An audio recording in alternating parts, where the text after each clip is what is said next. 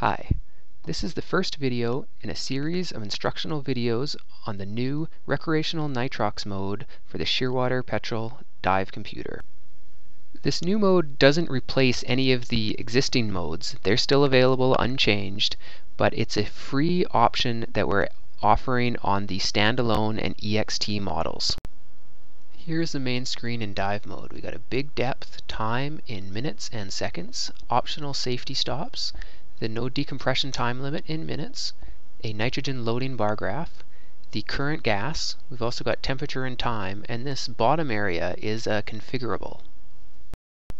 This series of instructional videos will include this introduction, the basic setup, an air dive with safety stops, nitrox diving, decompression diving, advanced setup, dive logs, including viewing, editing, and uploading, and updating the firmware. As a disclaimer, do not use this video as a substitution for proper training from a certified training agency. This is how to use the computer. Don't take shortcuts on training and don't dive beyond your training.